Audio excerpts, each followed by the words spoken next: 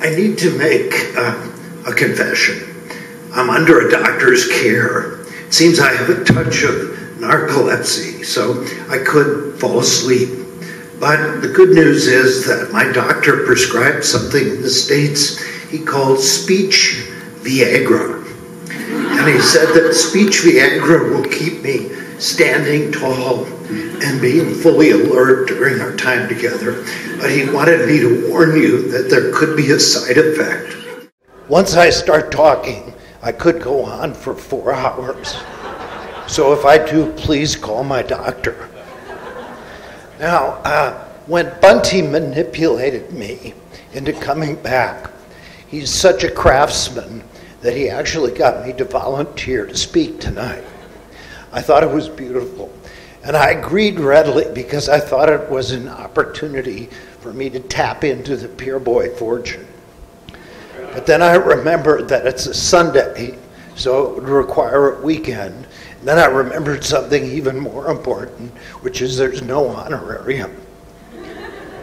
So I want to assure you that Bunty Peerbhoy is going to get full value for every single dollar he spent. I've been doing a lot of speaking lately, and I like to say no, and I like to be selective. So I thought the way to do that was to set a very high price. So I went to this organization called the International Platform Association. They represent all these huge speakers, Bill Clinton. They represent virtually everybody that earns 100,000 speaking fees or higher. And I auditioned for them, they said no. Uh, but the good news is they gave me the, the results of their segmentation research on audiences. Seems they have a great stake in audiences, and they've segmented them Presumably, all audiences have the same three segments, even this one. The three segments that they say exist in all audiences. The first one they call the rabid listeners.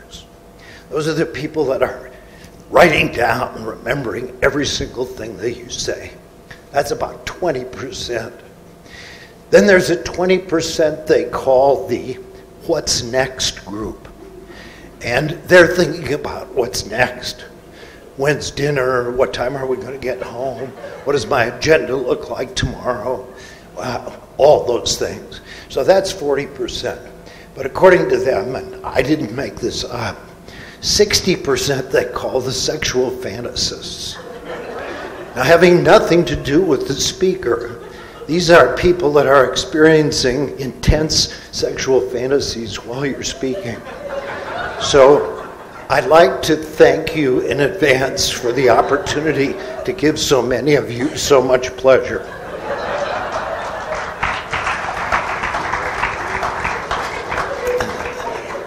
Now, I could talk about advertising tonight. Uh, I love advertising. But I'm going to talk about something that's really my favorite, most interesting, ongoing, and continuing topic. I'm going to talk about leadership. I'm going to talk about lessons in leadership, some of the things I've learned about leadership. And I'm going to talk about it because I think we have too little of it. I think we don't teach it very well. And in times of change, rapid change, which is always, we need more and more leadership. So I consider myself to be beyond fortunate. Beyond fortunate because I've had the great opportunity to practice leadership, to watch leadership, to study leadership, and to live leadership for a really long time. And the best things I've learned about leadership are the times that I've made mistakes in leadership. So all those things are true. I'm fortunate because this year I celebrate 50 consecutive years in the advertising agency business. I've never been out of it. And in that time, I've had thousands of clients. At Interpublic, we had 4,500 clients. I got close to a lot of the CEOs. Uh, And in that time, in those 50 years, I've had the privilege of being either a CEO or a chairman for 45 years. So I've watched lots of people, learned lots of things from heads of state, all those things. And what I focused on are what are the characteristics of leaders who lead change? Because that's what leadership is. Leadership is about leading change. I was dragged kicking and screaming into the internet in the early 90s. But once I got there, I loved it. Had great experiences. Our agency did the first website for the White House.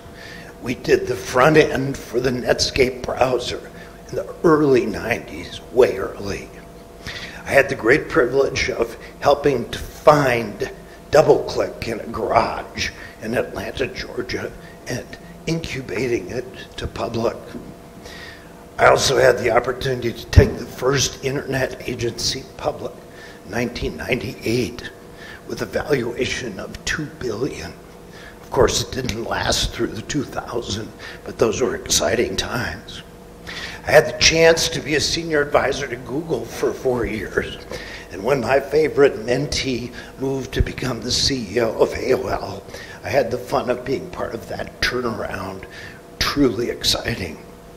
I had the privilege of being part of two turnarounds of Chrysler, one under the legendary Lee Iacocca, which was a total autocracy, and one under Bob Lutz, which was very different because it was systemic change.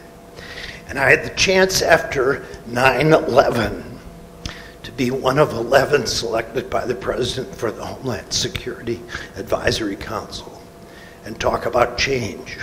We had 250,000 government employees in 11 agencies from Coast Guard to Border Control that we had to merge. Exciting times for sure.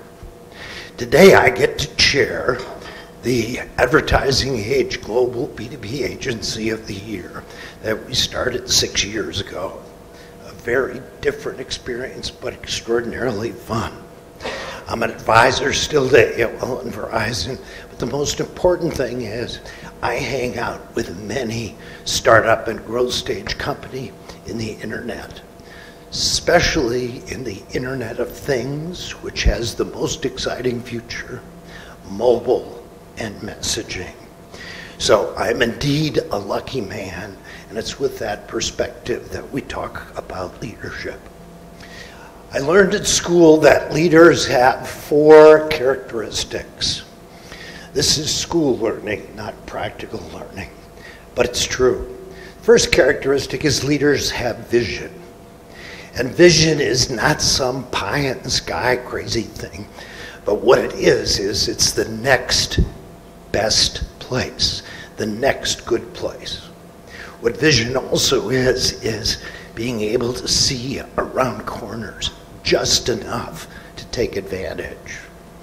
But most important, what vision is about is defining a worthy purpose. In today's world, young people and even old people want to align their values with the values of a brand and the values of a company. And a worthy purpose is not making next quarter's earnings. A worthy purpose is not kicking the hell out of the competition or becoming uh, the largest. A worthy purpose is something aspirational and big. And when companies have those worthy purposes, recruiting talent, aligning talent, and making change happen is extraordinary. I'm involved in an exciting shared workspace project I call it the Bentley of shared workspaces because it's pretty cool. The higher purpose for that little project is to be a place of extraordinary comfort where the most talented people can challenge the uncomfortable. We could have said in the old days, we want to be the coolest spot, but people respond to worthy purpose, so that's vision. And that's a key job of a leader to define it. Second characteristic of a leader is integrity. And of course, everybody says leaders are have integrity. Specifically, what that means to me is do I trust that they're honest? Do I trust that they're consistent? And as importantly, do I trust that they will do what they say? Number two is integrity. Number three is courage. And courage is a tough one because to have the courage to make the tough decisions requires leaders to be vulnerable, requires leaders to overcome fear of their self image being diminished, the fear of having someone say, if they had to make that decision, they must have done something wrong before. But that courage is extraordinarily important because it separates. And the timing of that courage is important. What I see lots of times, including now, is that a leader will understand what has to happen, but they wait. And they wait way too long. And when they wait, everybody in the organization wonders why they're waiting. So moving quickly through that fear is huge for leaders. The last characteristic of leaders is reality. I call reality the ability to call shit shit. Actually, the ability to look for weakness in themselves and their organization and to move through it. And that's hard because fear keeps many from doing that as well. So, assuming that the leader has done the job with worthy purpose, assuming that's there, I've learned from watching and practicing that there are three things that leaders must focus on. I call it TLC. And of course, you could say it's tender loving care for the organization or tender loving care for the people, and that's important. But specifically, I'm talking about team leadership, their personal leadership, and culture. So let me spend some time on each one. Let's start with T for team. Team is a word that is overused and underpracticed. Successful big teams only come from small teams that are connected and connected to each other and connected to a worthy purpose. The dirty little secret is that big companies rarely create or innovate. But big companies can create and can innovate if they fully empower diverse, cross functional teams that cross silos and disciplines. The second Chrysler turnaround was all about that. They figured out that their biggest problem and the reason it took them so long to get to market and it was so much cost was that they were going up and down every single functional silo in the company every single time. They had a manufacturing design, marketing, sales, and engineering were all czars and they all had to opine on everything. So they blew it up. The first thing they did was two levels down, co locate fully empowered teams that owned car platforms. Beautiful. Then they made all the czars interdependent. The head of design owned a minivan, the head of marketing owned a truck. They needed each other to succeed. Fully empowered cross functional teams inside big companies can succeed. Teams win because the sum of the parts trumps individual effort. Seems obvious. Everybody talks about it. It doesn't happen. I'm a basketball fan, but the same holds true in other sports. If you look back at the NBA Finals in 2014, it was an epic battle between the Miami Heat and the San Antonio Spurs. Miami Heat had three huge stars LeBron James, Chris Bosh, Dwyane Wade. San Antonio had 10 aging players, some people that had been stars, but all 10 played the same number of minutes. It was a cohesive, connected team, and they crushed the superstars. Cut to 2015, LeBron James' new team probably the best player in the NBA. but a new young kid, Stephen Curry, the Golden State Warriors. A lot of hype. Head to head, LeBron James versus Stephen Curry. No, not head to head. The telling thing was right before the final game, tied at three each. They interviewed LeBron James and they said, Are you nervous about the final game?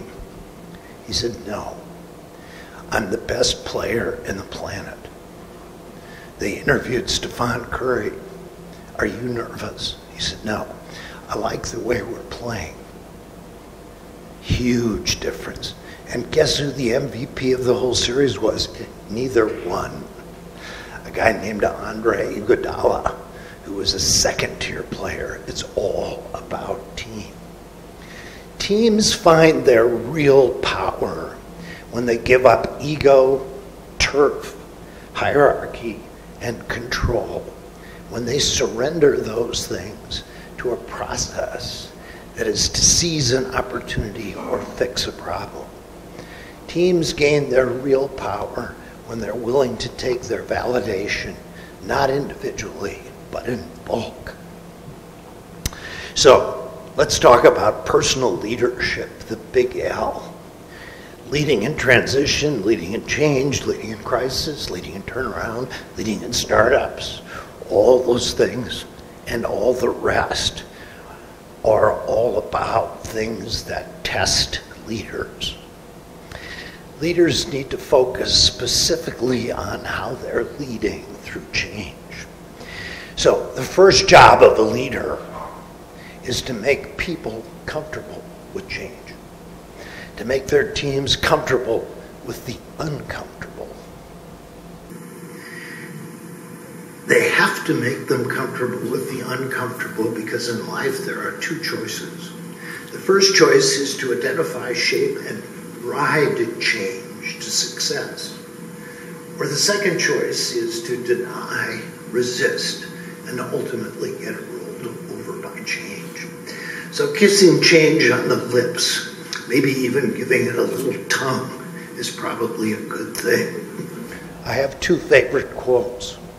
There was a quote after 9 11 by one of the generals, and what he said was if you don't like change, you'll like irrelevance even less.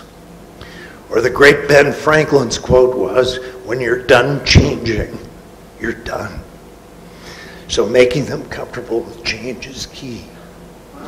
Leaders in change need to identify the four or five most important levers. The difference between leaders and managers is managers are great at, oh, excuse me, cleaning their plates. Leaders are great at deciding what goes on the plate. And it can't be a laundry list, and it can't be 10 things. It has to be those four things that have the greatest leverage, maybe five. Leaders also know that the activity trap kills. The activity trap I define as, and believe me, I see it all the time, people working as hard as they can on all positive things that don't ladder up, that may not be those things that are going to make the big difference. So there's the why and the what and the how. Leaders own the why they share the what with their teams, but they give away the how. Said another way, leaders lead with kite strings because they know that if they can help all of their people get their kites flying high, they'll fly with them. Bad leaders manage with dog leashes. And that metaphor holds true. My mother is 98. She's quite amazing. And this year at the football Super Bowl, she and 12 other ladies decided to go to church and they were going to have a conversation about what's the best advice they'd ever gotten.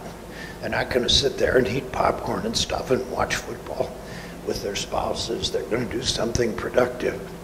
So I asked her what was the best advice she had ever given, and it pertains perfectly to this. She called it freedom in a framework. And when that framework is clear, leaders can give their people the freedom, but they need to define the framework. And I thought about what she taught me, and I thought that that's exactly how she raised us. There was a framework, but within it, we were free to move. Now, leaders move quickly because they know in change there's the quick and the dead. They also know that the tortoise only beats the hare in fairy tales. And they know that the first mover finds out the first answer, and the second mover has to figure it out later. Leaders in change must identify game changing people, and they must put them and give them the right jobs. I'm the chairman of the Compensation Committee of Time Inc., which is really exciting turnaround. Our comp committee every month asks management to tell us the gaps, where don't we have the right people, and who are the game changers. We're focused on what is the talent, and it's made all the difference. Because when the game changers come in and they're empowered, things happen, and they happen quickly. Now, leaders operate, the most I've learned about marketing is leaders in change operate from two things. They operate from a momentum calendar and a proof point roadmap. Momentum can become permission to believe that success can happen. Momentum can even be seen inside and outside as a surrogate for success. So, momentum calendars are literally planning out the things that are going to happen and the achievements that are going to create the perception and the reality of momentum. Proof point roadmaps are different and they interact. Proof point roadmaps identify the barriers that inside and outside people are going to have in believing that you're going to get to a point. And when you lay out a proof point roadmap, you're laying out how am I going to knock down every single barrier to provide the permission to believe. When we started at AOL, Michael Eisner, the great CEO of Disney, met with us and said, You need to decide where you're going and then begin to start showing proof that you're going to get there. That's both momentum and proof point calendars. So leaders in change communicate and they over communicate. And they communicate about progress against the momentum calendar and the proof point roadmap. I watched great communicators and companies, and I watched the difference that communications make. So I did a little test. I took some money and set up a mini mutual fund. And I invested only in companies where I knew the CEO believed in communication, had it at the top of the radar screen, was going to communicate to investors, to stakeholders, to customers, and inside all the time. And the good news is, without any other criteria, not earnings, not growth, not anything, just communication. I beat the indexes by 25% three years in a row. Communication on leaders is huge. So now let's talk about the C, culture. And culture is the biggest and the most important because culture eats strategy for breakfast. And as I like to say, an A culture even with B level players, will beat the hell out of a B culture with A level players. And if you have A plus A, get out of the way. Now, cultures exist even when they're not stated. My definition of when a culture is good is this it's the combined attitude, spirit, and talent working as one with an important purpose and a framework that's shared and believed. Or you can take the definition of Zappos, the great internet company that's probably studied more than any other on culture. They've studied so much they've had to appoint a cultural ambassador that goes around and talks about their culture. They define good culture as attitudes, feelings, and values that drive behavior and inform the group and its members. So let's say those are good cultures. Bad cultures are far more prevalent. My definition of a bad culture is this people are unaligned and they work and politic independently for their own personal gain, often at odds with the company's interest. Believe me, I've lived in bad cultures. I don't want any part of them. So, now, creating and maintaining good cultures starts with understanding the five things that are important and most important to the people that make up cultures. The five things that are more important than money. Now, money is important for sure, but assuming the money is fair. The five things that are most important, that are at the bedrock of culture, are these. The first is a belief in the future. Do I believe that this company, this city, this state, whatever, is going somewhere? And do I believe that there is a real possibility that they can get there? The second is it's fun at work. It's safe and it's exciting. And I love the people. In fact, it's so much fun. Sometimes I'd rather be at work than be at home. The third is they, and that's the big they, care about me, the person. Not me, the professional, not me, the functionary. They care about me, the person. I had a New Yorker cartoon framed in my office for a long time to remind me of the opposite. There was a cartoon of a portly, obviously tycoon type guy walking around a sea of cubicles. And he stopped at one cubicle, and the balloon over his head said, Keep up the good work, whatever it is whoever you are. They want to know that you care about them as the person, about their family, about how they feel, about their health, about anything other than their job. The third is they want to know that you appreciate what they do. If what they're doing is good, they want to know. If what they're doing is not good enough, they want to know. Especially now. The millennials are all about feedback. My two kids are fighting over who has more likes with their latest posting. They get instant feedback. And if we're not giving feedback, both an appreciation and that, we're missing it. The fifth thing that they want to know that's more important than money is Am I making a difference? Is what I'm doing contributing to winning? Is what I'm doing contributing to the worthy purpose. I had a great opportunity. Um, AOL asks me to, uh, when it's requested, meet with lots of their customers on lots of subjects. So last month I had a chance to meet with the leaders of Dentsu, and they wanted to talk about culture in the U.S. And they wanted to talk about how to get there and what to do with it we came to a very exciting place. We talked about how most cultures are written at the top of the house and they have these huge pillars. Customer is king, trust, integrity, openness, all these great words. By the time they get to the people that do it, they're like, right, got it. What do you think? I don't do that. The better companies list behaviors that they're going to want.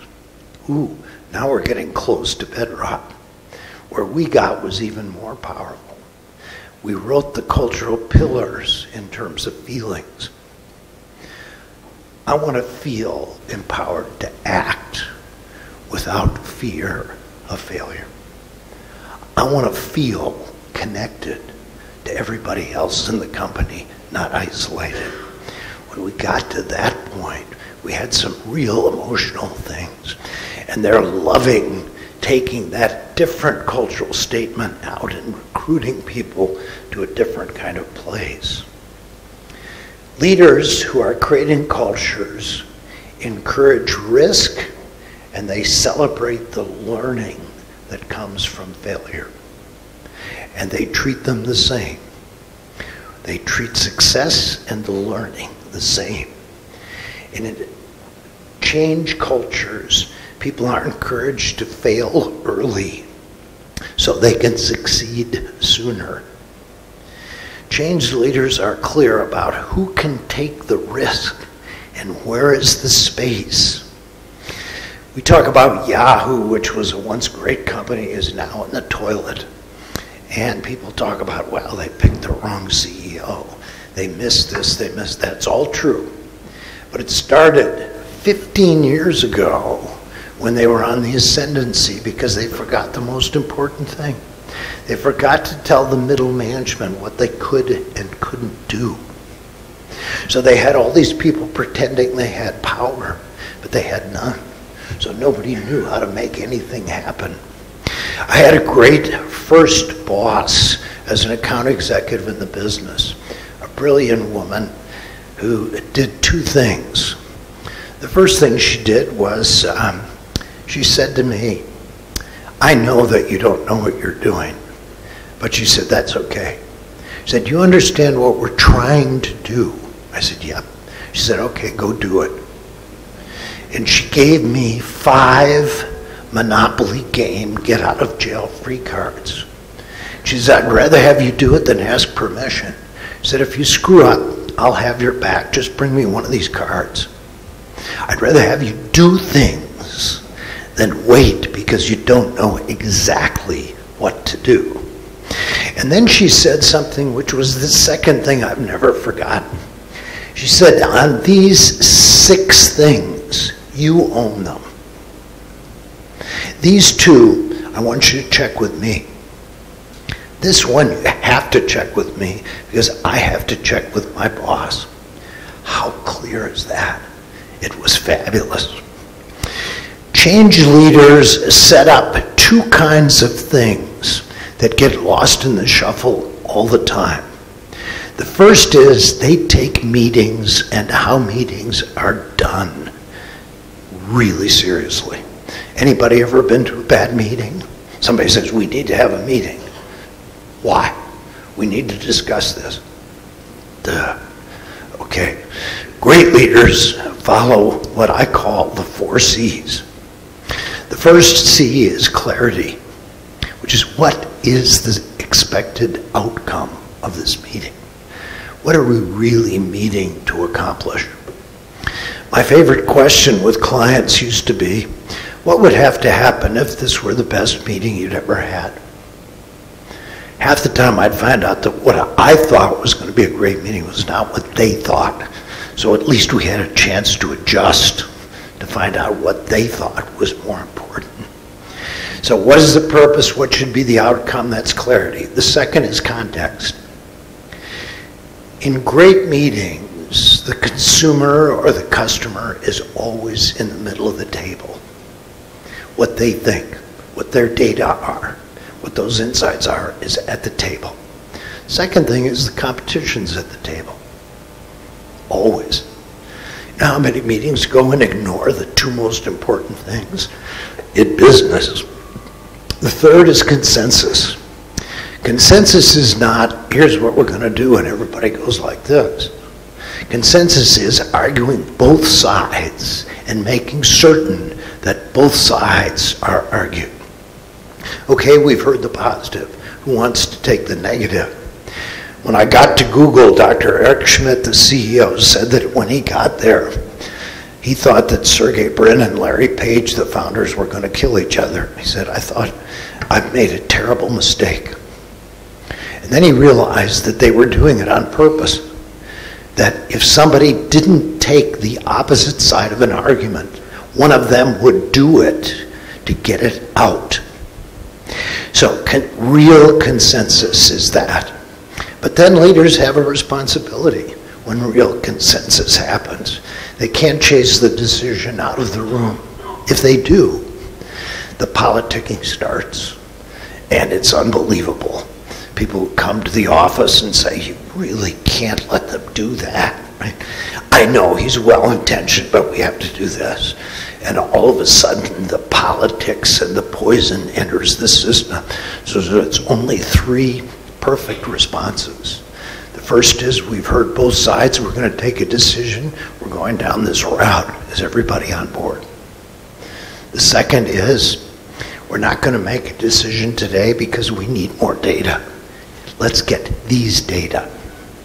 And the third is this is too important to make a decision on the spot. I'm going to sleep on it, but at 8 o'clock in the morning, you'll have the decision. So, real consensus and a clear path on when a decision will be made. The last is commitment who owns it and when is the deliverable. So, those are key, key factors. Second things leaders do is they set up contract of expectations with their people. They have real conversations that they hang in on. Nothing is left to chance. It's not an assumption. They have conversations like, here are the things that really piss me off. So probably probably don't want to do those things. Here are the things that I really expect. These are the things that are really important to me. Here's my style. I like to have early morning meetings. I hate to have late night meetings. Setting up that contract of expectations is huge. The real dialogues are also game changers. I finally figured out how to do employee evaluations after screwing it up for a lot of years and listening to HR departments. I used to say on Tuesday, we're going to have a meeting to discuss how we're working together. So you have an assignment. Your assignment is to tell me the things that I'm doing that you want me to do more of that are helping you the most. Second is you're going to tell me the things you wish I did better. And last, you're going to tell me the things I'm doing you want me to stop. You're going to go first, and I'm going to judge you on how candid you are. Then I'm going to do the same thing for you, and we're going to have a real dialogue. Those things make all the difference because there's nothing left to chance. Leaders in change find systemic ways of constantly bombarding their teams with what's new and what's best. My good friend Mike Hughes, now deceased, who was the legendary creative director of the Martin Agency, taught me what's best in the most powerful way. When I took over as CEO of Interpublic, I went to visit his agency and I walked in his office and on his wall were eight pieces of advertising, none of which the Martin Agency had done. And he changed them. And I said, What? I've not seen that before. I said, I do it to remind people that we want to beat the best, not to beat our best. Big difference.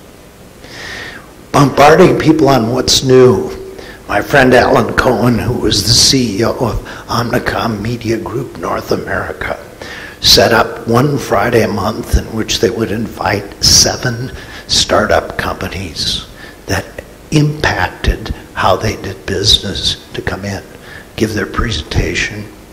They set apart an entire afternoon. Then they would go out to dinner and talk about the implement, implementation and whether they were going to move forward with it what's new and what's best lifts and ideas, and it also lifts performance. Lastly, leaders never make it about them. My mentee, Tim Armstrong, did a thing at Google I'll never forget. He was quickly becoming a rock star because of the growth. And he called in our head of PR and he said, I don't ever want for the next year any stories about me. I want stories about Penry. I want stories about Eileen. I want this. I don't want any stories about me. It's too much. And it's not about me, it's about the team. When leaders give that up, that changes. Chuck Peebler, my partner who spoke here, uh, my partner for 25 years, uh, could have taken all the credit. He made huge room for me, and he shared the stage, and it made all the difference. So, leaders also know the rule of two. The great Dr. Kotter, the great professor of change and transition at Harvard, talks about why leaders need managers and managers need leaders. I take it one step further. It's never about one, it's always about two. And when people find their alter ego and put that person close to them and stay tight with them, magic happens. So, in closing, uh, let me say that leaders are certainly born, but I believe that leaders are also made. Families need more leaders, companies need more leaders, city, state, and the world needs more leaders, particularly in times of change. I've seen unbelievable things happen when leadership is done right. And I hope I've given you some things to think about. Thanks for letting me come back and speak at the 35th Peerbhoy Lecture.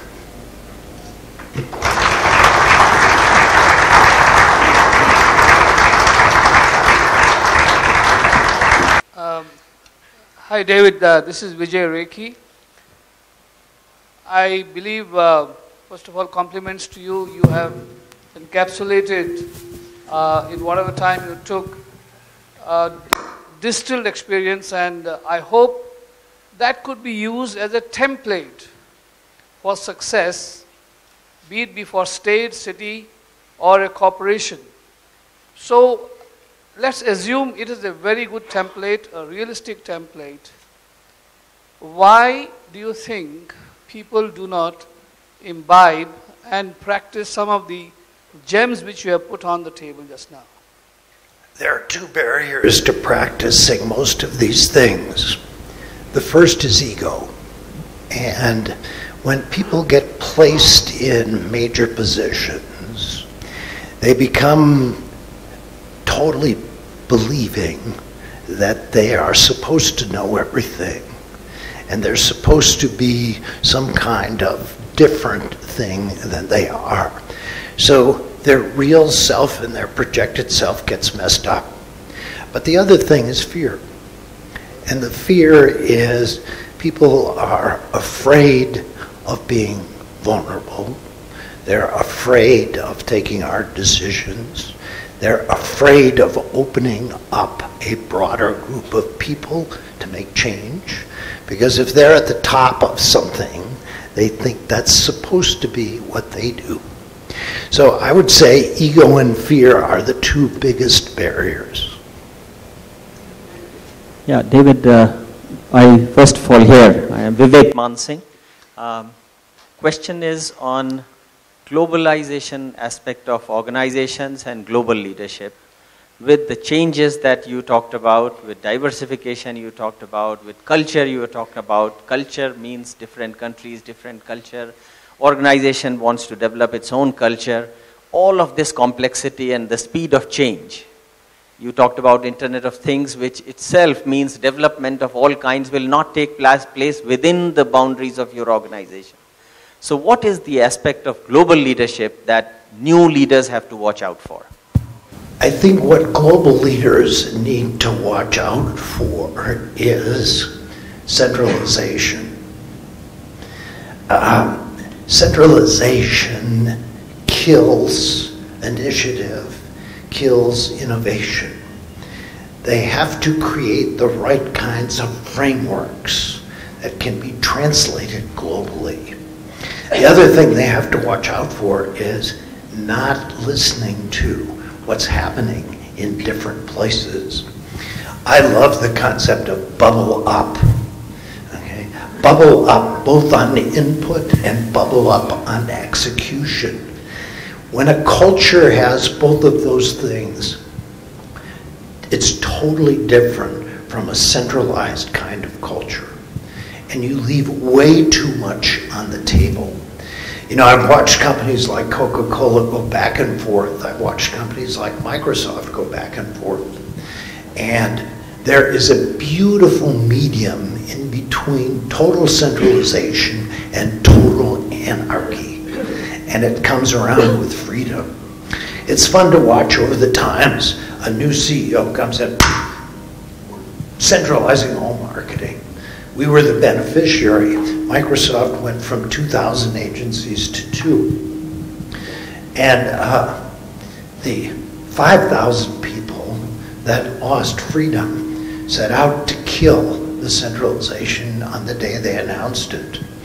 Uh, and eventually, the dike opened up and the centralization move started happening.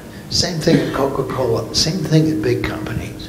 So the biggest thing is to define that beautiful middle ground. Uh. One of the things that we did at Chrysler that worked like crazy in the 90s is we created a online digital platform that took every single photograph and video of every single vehicle Chrysler made in the world and made it accessible to creative directors and to art directors. And we didn't tell them how to create, but we did tell them before you spend money redoing a photo that cost 25,000, maybe you want to check one of these and see if it might work with your idea rather than saying you will do everything this way. The mid ground or we should say here, the middle road. Uh, hi, Mr. Bell. Yes. Good evening. My name is Aditya Mendonca, and uh, what is your advice for mobility startups? What is my advice for startups? Mm-hmm. Um, well, it depends on the startup. I think uh, the same kind of advice we're talking about. Obviously, in a startup, leadership has a tighter leash but it's still totally about culture and team. It's 100% about culture and team. When I go into a startup, I can tell in a minute, just like I used to be able to tell in agencies, whether they're going to make it based on the energy, based on the team. The other advice to a startup is that the hardest single thing that's much harder than a startup is moving from a startup to a growth stage company. And most entrepreneurs fail and they fail because they think that going to a growth stage company is exactly the same as going to a startup and becoming successful, that they have to keep doing the same things the same way. And that's not true. Okay? So, constantly learning and growing. Good evening. My name is Anik Banerjee. Uh, see, a good batsman in cricket plays uh, as per the pitch, how the pitch is behaving.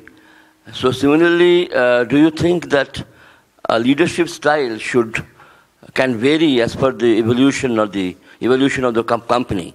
I mean, for example, if there's a crisis and there's a turnaround to be affected, so a leader can be more centralized, and in a more happier times, he can be more democratic.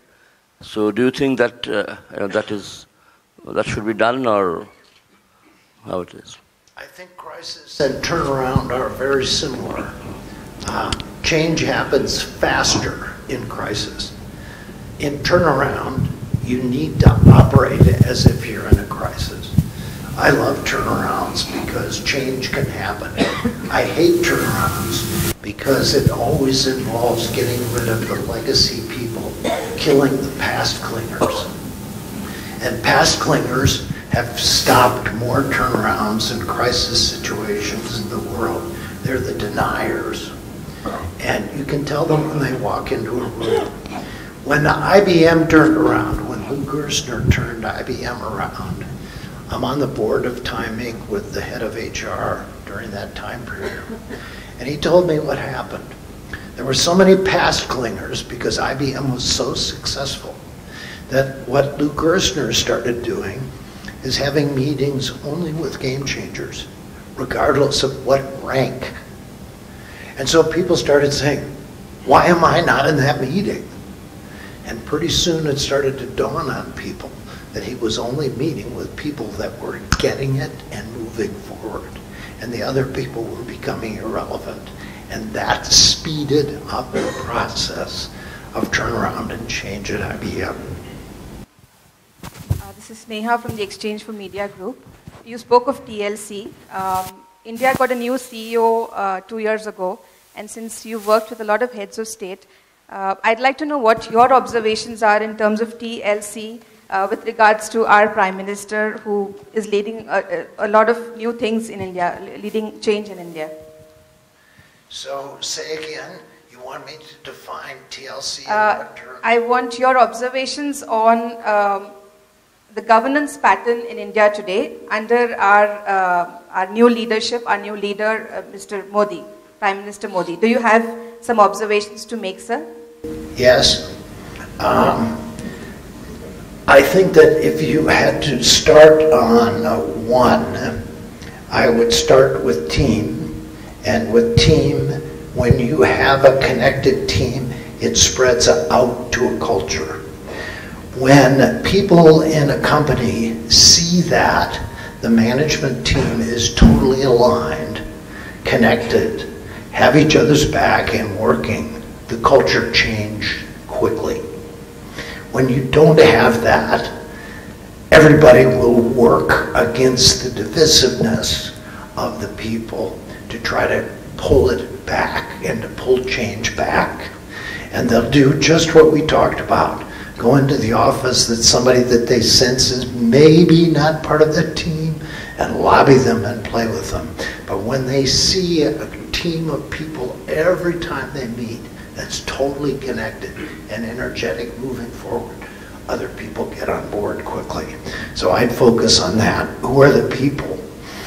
The biggest single thing I see is that you give people a chance to get on board with change. Every chance. If they don't, kill them. They're gone. Because they will only poison everybody else. Hi, um, David. So, uh, just wanted to get your insight on, I think you touched upon, you were in Chrysler, working with Chrysler, with Lee Iacocca as well as Bob Lutz. Something similar to Steve Jobs and Eric Schmidt, maybe? Uh, autocratic, brilliant uh, expert versus a democratic, you know, guy who's trying to bubble up. And sometimes companies need a little bit of the burst, and sometimes companies need a little bit of the bust. Um, and all brilliant managers, right? All brilliant leaders. So is there a balance, or you have to be one, or you have to be the other? I think it depends on the situation. I think that um, in the first Chrysler crisis, there was not time to do transformative change. So there had to be direction. And everybody knew that everything stopped with Iacocca.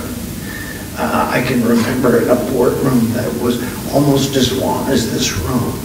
The Iacocca is sitting at the end with a light box and me with a photo of a K car and him approving the photo for NAD. Now this is a giant company, but that was because we had to move quickly. When you have the luxury of things not being in a disaster, then you can work toward transformative change. But I think Apple is going to be very interesting to see what happens now. Because the legacy is always, what did they leave behind? Bob Lutz was a giant ego, is a giant ego, super charismatic, unbelievable guy. Um, one of my great heroes, but he also transformed process and when you change process, you have the biggest chance of having sustaining change. so at Apple, how much was Steve Jobs really making all those key decisions? And how strong is the organization in his wake? We'll see. We'll see by what products come out. One of the things for me with Apple that I find astonishing is with all of Apple's success, they don't have CRM. If you think about that, they don't have CRM. Okay? I bought my first iPad. I left it on a train like an idiot. I had got it, it was early on. So I went back to Apple and I said, I need another iPad. They said, We're sorry, you're going to have to wait. And I said, mean I'm going to have to come back to the store and stand in line? They said, Yes. I said, okay. Um, do you know how much money I've spent with Apple on my family in the last two years. They said, no, we don't have any way of knowing that. Right? Excuse me? When you don't have CRM and something goes bad, you are in big trouble. Fortunately, nothing's really gone bad, but just think how cool it would be if they could, with a CRM program, identify evangelists and come to Bunty Peerbhoy and say, Bunty, we want you to be the first to have the iPhone 7 because we know you proselytize. You'll tell everybody you know in Bangalore about it, right? Think about the power of that. Or think about the power of them sending me a note saying, you know, your iPad is getting a little long in the tooth. We have a really great special right now. If you bring it in, we'll upgrade it with 256 megabytes for the cost of $2. Really? You'll do that? Right? They do none of that. It's crazy. That's because Steve Jobs' vision, which is totally genius, is if the product is intuitive and perfect, we don't have to worry about that stuff. Why not? Why not have both? Thank you, David, for a very wonderful, lucid presentation. Um, I just wanted to ask you from your 40 years of experience of working with leaders, in times of change, uh, do you see a gender aspect to the kind of leadership that men or women bring into leading change? Yes. Uh, and uh, I think that uh, companies that have a good concentration of women in high positions with men do better because there are gender differences and uh, they bring different skill sets to the table. Um, I can tell you right now that women are much less maintenance than men. If you want a high maintenance organization populated all with men, right, I can tell you that mostly women are born better managers than men.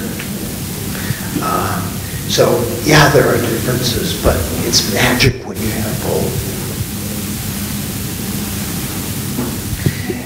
It's also magic when women are in touch with their masculine side and men are in touch with their feminine side. So my advice is, if you're one, get in touch with the other side because when you bring both to the table, you're much stronger. There is a lot of talk nowadays that as important as leadership is in organizations, there's also an importance of followership. And this is a concept being discussed today because most organizations have a challenge if they have only leadership and no followership. Would you have anything to comment on this? Yes. I would start by saying that, and I should have mentioned it, but I wanted you to have the chance to ask a beautiful question. Leaders know when to be followers, and great leaders are willing to be followers. Leaders know that there is no anointing, appointing, or promoting a leader. Leaders generate their leadership every time they walk into a room. But what really separates leaders is when somebody else can be a leader on something they follow.